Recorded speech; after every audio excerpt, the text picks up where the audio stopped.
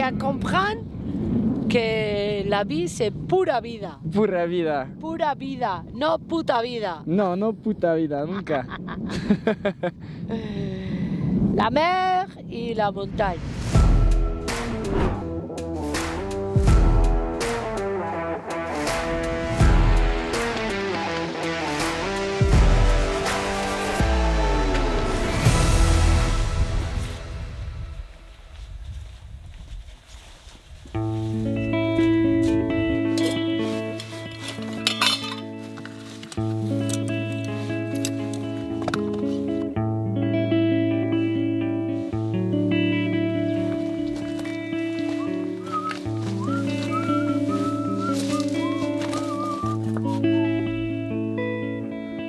Cherche à traverser l'Espagne d'est en ouest, de la frontière française jusqu'à la Galice, ce n'est en généralement pas bien compliqué.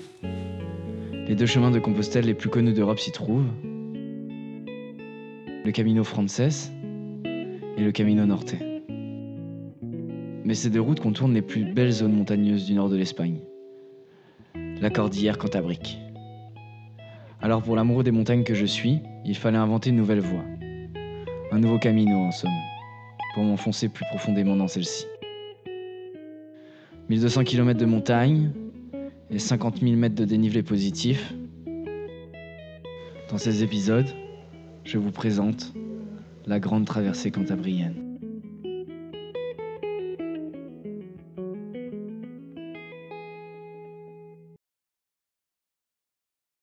Bon, avant de commencer cet épisode, je vais vous parler d'un tout petit truc. Les vidéos que je produis sont le premier poste de dépense de ce voyage. Donc si jamais vous aimez les vidéos que je produis, vous voulez soutenir la chaîne pour les prochains épisodes, n'hésitez pas à faire une contribution sur la page Tipeee, tout est dans la description. Je vous remercie beaucoup, ça m'aidera beaucoup et ma foi, je vous souhaite un bon visionnage.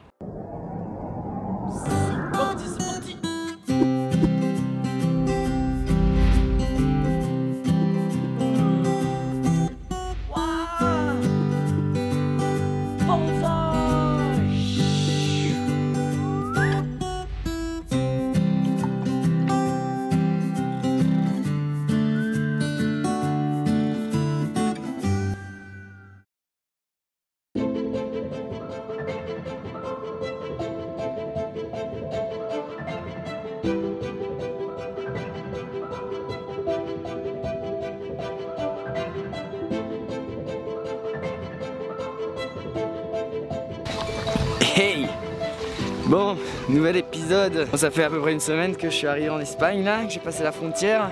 Il aura fallu à peu près pour 3 jours à suivre l'océan pour arriver à me faire kicker. Première fois, j'ai dormi sur la plage, je me suis fait emporter mon tapis de sol sur la plage. Deuxième fois, la police elle m'a réveillé au matin et je vais me prendre ma multa, une petite amende. Donc du coup bah ma foi, je suis reparti dans les montagnes parce que c'est plus facile, on accepte mieux les bivouaqueurs. Et puis du coup, en même temps, et ben, j'ai retrouvé quelqu'un que j'ai rencontré dans les Pyrénées qui vit dans le Pays Basque, à savoir Mamen. Ongi etorri Euskal Herrira, itxasua eta mendia! La, la tierra, Mm. c'est un circle, si, un cercle. un cercle. Et pour ça que nous sommes rencontrés encore. Ah oui, grave. vous vous rappelez de Mamen C'était la femme incroyable que j'avais rencontrée sur la haute route pyrénéenne. Mamen, une femme qui a une énergie de vie qui file la pêche. Avant les Pyrénées, elle revenait d'un trek de plus de 3000 km en plein Himalaya et passe plus ou moins l'entièreté de son temps à traverser les montagnes du monde à pied ou en vélo. Un bon coup de boost pour reprendre ce voyage. Surtout que oui, j'en avais un peu besoin, parce que l'entrée dans le Pays Basque n'a pas été des plus incroyables. Ça y est, la France c'est fini. C'est là-bas, à Hondaï. J'ai pris le luxe de prendre le bateau. Bon, c'était 5 minutes de gagner. C'est parti Et on va remettre le masque parce qu'en Espagne, dans les villes, masque obligatoire même dans la rue.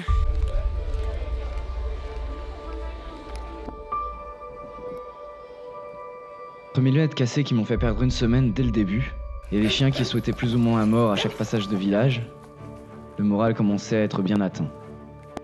Mais ça, c'était sans compter sur toutes les belles rencontres qui ont suivi, et m'ont appris à apprendre à aimer ce pays. Si particulier dans un sens, mais très attachant. Le Pays Basque, bah, c'est bien bien sympa. Bon déjà, c'est pas l'Espagne, hein. c'est le Pays Basque. Ici, on y parle basque, on dit opa ou kaisho pour dire bonjour. Pour dire merci, on dit casco. Pour dire au revoir, on dit agur. Et ma foi, bah, c'est toute une autre langue, une autre culture à apprendre. Au final, quand l'on casse la froideur des premières minutes, les Basques se montrent attachants, drôles et joviales. Ça fut tellement des bons moments qu'après être parti me réfugier dans les montagnes, je suis finalement resté allongé la côte, loin des zones touristiques, à passer du temps dans tous les pueblos que je pouvais rencontrer.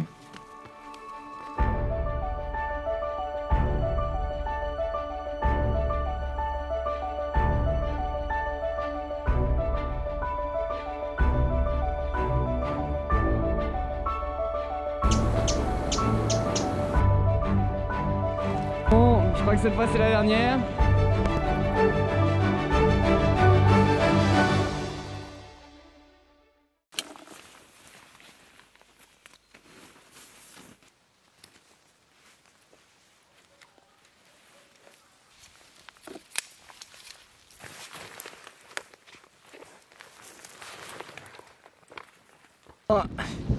Cette fois-ci c'est la bonne.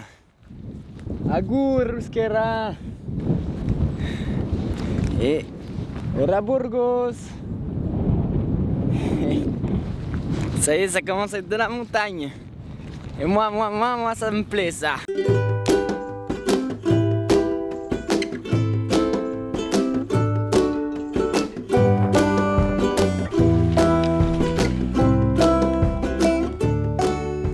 Le passage dans les zones montagneuses de la région de Burgos offre un changement brutal dans le paysage, bien plus sec et pseudo-désertique. Mais aussi dans le climat, bien plus froid que dans le Pays basque. Et c'est chouette, on trouve les premières falaises, et avec elles, la liberté de se retrouver à nouveau perdu dans le vide, de planter la tente là où on le souhaite. Ah, la liberté du bivouac. Je continue ma marche dans un paysage qui se transforme au fur et à mesure de mes pas. Encore de la montagne à vaches, mais avec une vue splendide sur des lacs immenses. Sûrement l'une des parties les plus paysannes de cette aventure.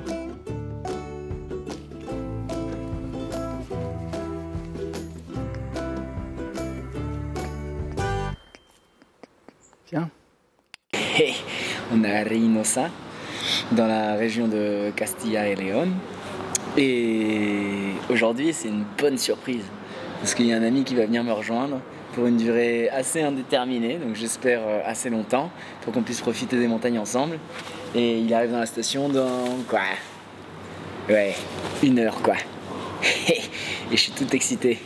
Donc, pour le coup, à la bonne vôtre et à son arrivée.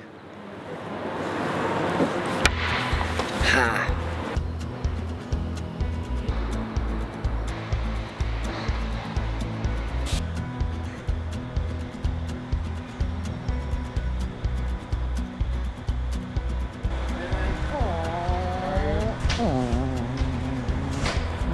C'est tellement plaisir de te voir. Le petit Ça va, t'es arrivé Ouais.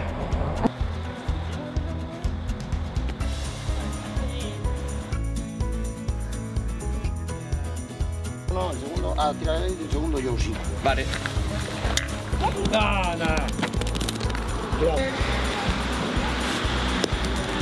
Tranquilo, tranquilo, tranquilo. Yu, yu, yu. T'es dans, il y a le punto. Les Français qui se font battre par des Espagnols à pétanque, ça va pas du tout. Hein. va où? Montagne. À la montagne Tu vois, il y a des, des gens qui disent euh, je me sens comme une fourchette dans un monde de soupe. Ouais. Ouais, moi je me sens euh, comme un piéton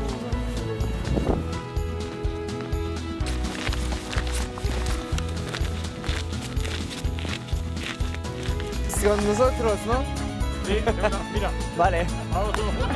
Sí. Venís con nosotros, ¿no? Vamos.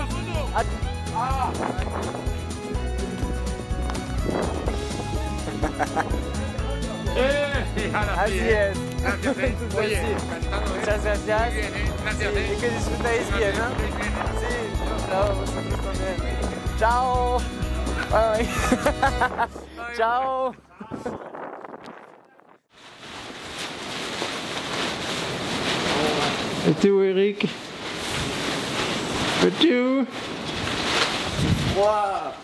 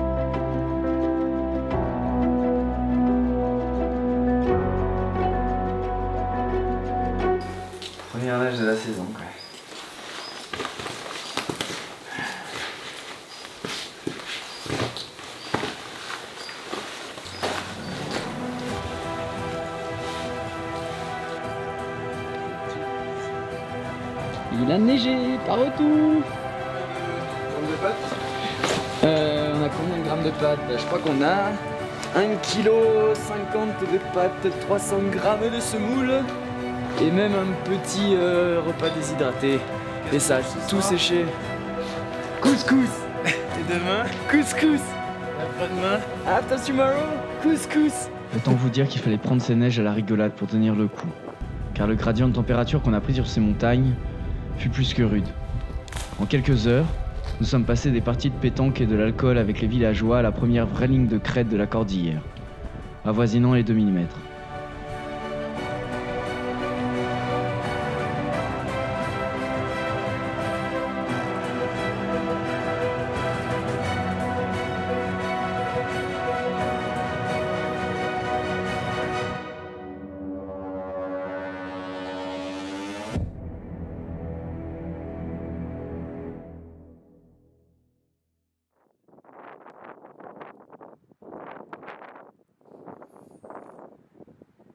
Nous y sommes restés perchés là-haut que deux petits jours.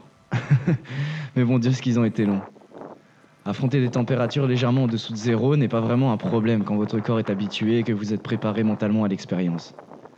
Mais à ce stade, nos journées étaient limitées à marcher, faire des micro-pauses à la va-vite pour manger un morceau et se réfugier dans la tente le soir pour se protéger. Pas vraiment l'ambiance idéale pour profiter d'un long moment ensemble.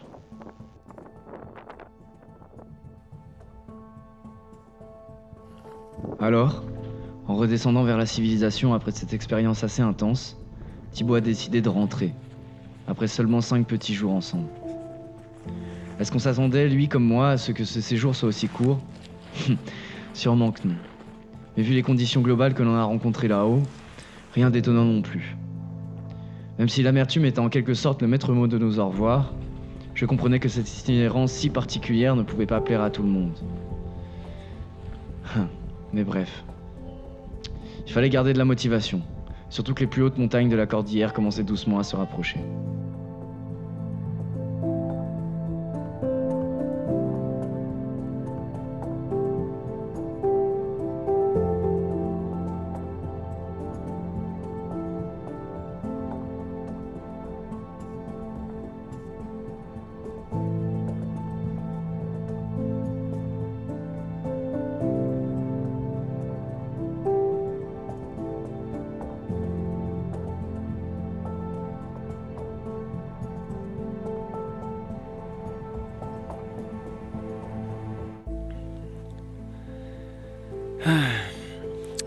Bon, la température a remonté un peu, mais entre temps, Thibaut est parti. Euh, les conditions étaient vraiment difficiles et je pense que c'était une bonne chose. Et là, je vais attaquer une deuxième crête de montagne qui va m'amener sur le sommet de Peña Prieta, qui est à 2005 à peu près, qui sera la dernière crête avant de s'engager réellement vers les Picos de Europa, qui sont à peu près à une semaine de marche. Ça va, j'ai la foi, j'ai de la motive, Et il va en falloir, je crois, parce que euh, c'est pas prêt de s'arranger euh, réellement. Voilà, c'est parti. Écoutez-moi, vous les ringards, écologistes des grands soirs. La pollution n'est pas dans l'air, elle est sur vos visages blêmes.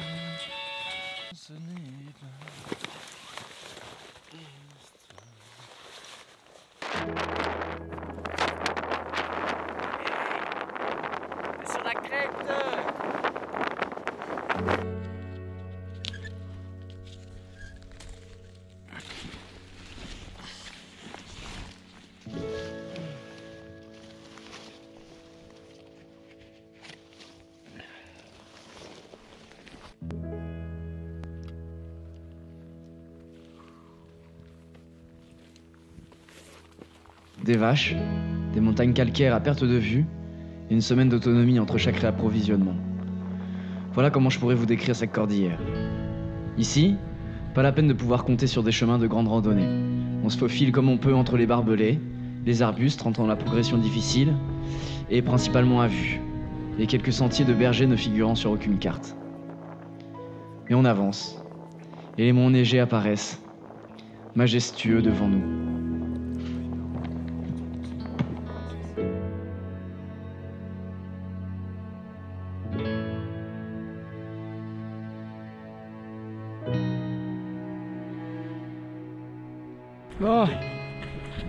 Parti pour la session de Pigna Prieta 2500. Le pic qu'on voit là-bas, qui est sous les nuages, on va voir si ça se lève ou pas. Si ça se lève pas, je pense que j'irai pas. Tout que j'ai pas encore les crampons là, il y a quand même un peu de neige. Bon, on verra. En tous les cas, première étape, arriver au refuge, qui est à 2000. Je crois que Peña Prieta, c'est pas pour aujourd'hui. Toute la crête, elle est sous les nuages. Ça se lève et ça rebouche tout de suite. Bah, si c'est pour marcher dans la neige, sur une crête qui a l'air quand même assez escarpée, dans le brouillard, ça me dit trop rien quoi. Des fois, faut savoir où avancer. Donc, euh, bon, on va avancer. Ça va gagner une demi-journée, je pense. Et puis, euh, direction les Picos de Europa.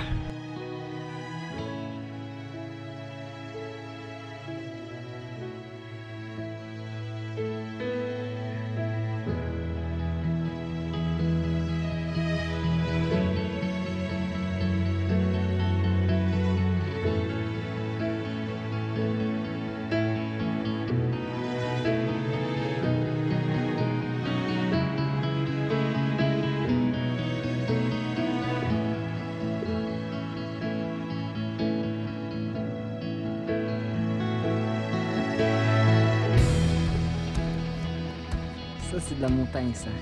Les gens, c'est un bivouac 5 étoiles. Sûrement l'une des plus belles vues des Picos. On va voir. C'est complètement bouché, ma foi.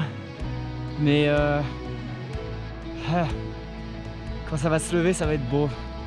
Va falloir réfléchir à peu près où il est judicieux de poser la tente pour avoir la plus belle vue. Sachant qu'on ne l'a pas.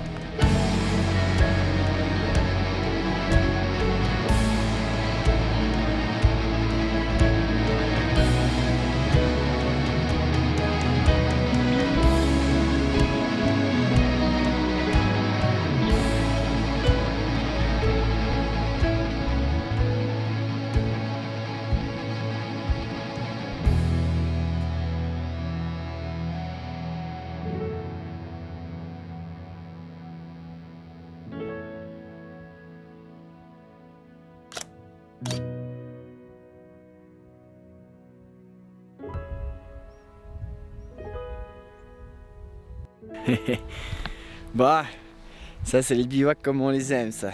Les bons bivouacs 5 étoiles. Je pense que c'est clair. Les Picos de Europa, c'est là-bas. Et j'en ai pour euh, une journée à peu près pour les rejoindre. Une petite réa pro là, parce que ça fait une semaine que je suis en autonomie.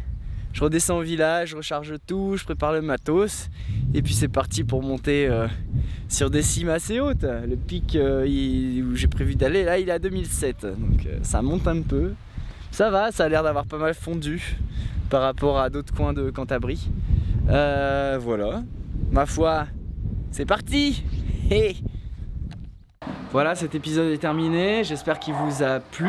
Si c'est le cas, n'hésitez pas à vous abonner, il y a la suite euh, de euh, cet épisode sur les Picos de Europa notamment qui va sortir d'ici la fin de la semaine prochaine. Et merci à tous les tipeurs qui soutiennent déjà la chaîne. Si c'est pas le cas pour vous, n'hésitez pas à faire une petite contribution, ça m'aidera beaucoup, c'est sur euh, la page Tipeee dans la description. Voilà, sur ce, je vous souhaite bon courage pour le confinement, des gros bisous à vous et à très bientôt.